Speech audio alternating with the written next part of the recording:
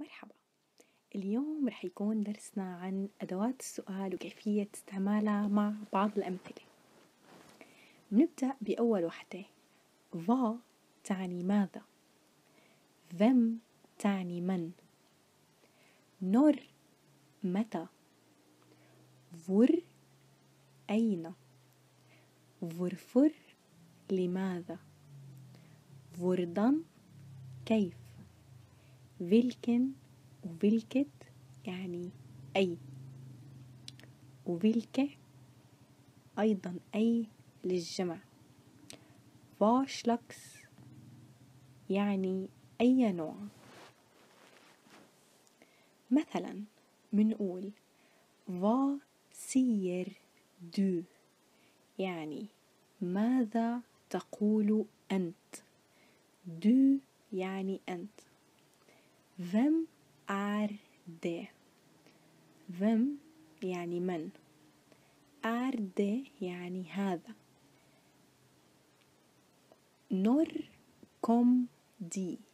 نر متى؟ كم جاء. de هم. بتصير الجملة متى جاءوا؟ Hvor bor de. Hvor أين؟ bor يسكن. de هم. بتصير أين يسكنون؟ Hvorfor لماذا؟ فورفر صادود. لماذا قلت هذا؟ صا يقول. دو أنت. دي هذا. وعنا فردن فردن går det فردن شلون أو كيف؟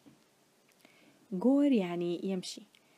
هذا السؤال اللي أخدناه المرة الماضية بالغنية. لما بدنا نسأل حدا شو أخبارك؟ بنقول له فردن جورة vilken dag يعني أي يوم نحن. بالعربي هيك بنسأله. بس هون فيلكن يعني أي dag اليوم er det ال det عائدة على ال dag hvilket år kom de hvilket كمان أي år عام. kom جاء de بتصير جاءوا بدنا ننتبه لشغلة إنه هون لما استخدمنا hvilken و hvilket. hvilken لأنه ال dag بالتعريف تبعه بياخد en فاستخدمنا hvilken. و hvilket استخدمناها لأنه år بتاخد et år فبتصير hvilket بنعطيها ايتين hvilke epler vil du ha هون استعملنا hvilke لأنه ال epler جمع لأنه التفاح كلمة التفاح اللي هي epler جاءت مجموعة. ف hvilke epler يعني أي تفاحات هدول vil du ha بدك. vil يعني يريد. du انت ha يعني آه يأخذ. Hva slags vær er det? Hva يعني أي أو شلون كيف. slags يعني نوع. hva slags بتصير آه شو نوع؟ يعني هي تركيبة مع بعضها. بنقول مثلا hva slags arbeid er det مثلا يعني شو نوع هذا العمل؟ hva slags mat er det يعني شو نوع هذا الطعام؟